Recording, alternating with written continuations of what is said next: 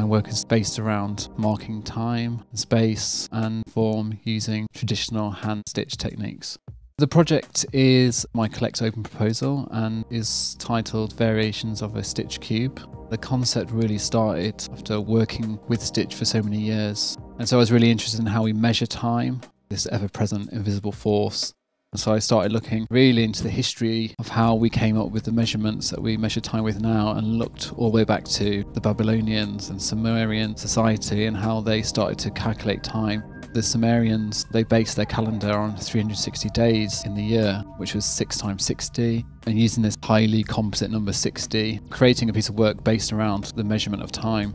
I became really hyper aware of this, especially just recently during the making of the work. And so, what I wanted to do is create a piece of work with self imposed restrictions on it and investigate what I could physically do within an hour we're all here trying to make a mark on the world and find our purpose. And so I kind of wanted to visualize and make something quite tactile and tangible as a physical object, something that you could pick up and hold in your hand.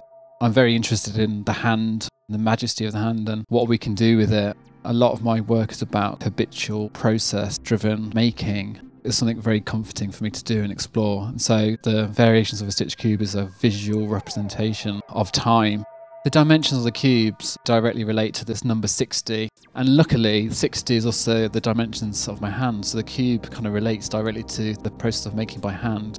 The cubes are hand embroidered using seeding stitch. They start out originally as a flat object, and so I create a net pattern of a cube on the fabric by printing it.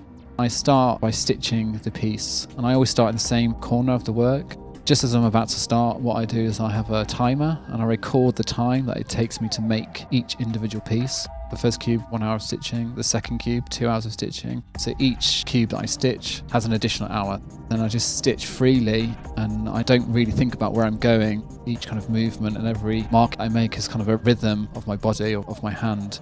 And then when it gets to the end of that specific time set, I'll stop whatever I do and finish at that point. I wanted it to be less about what it looks like and just more about recording the process of making. And so even though I'm doing the same stitch over and over again, you'll be able to see that there's a rhythm and there's a flow that changes across each cube.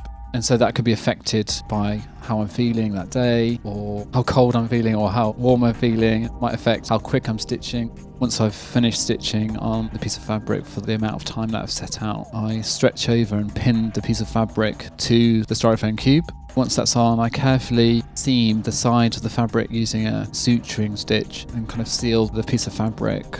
I like the way it changes when I form it from a flat object to a three dimensional object, and then when they're placed together, how they kind of relate to each other. People think that embroidery is this kind of domestic, gentle kind of activity, but actually, when you do it for a sustained period of time, your eyes, your back, your posture, your hands, it's become almost like some kind of religious punishment. And then also mentally, sustaining that much attention on one specific object for 60 hours is quite difficult and it takes a lot of mental training, concentration to not want to just give up or be distracted.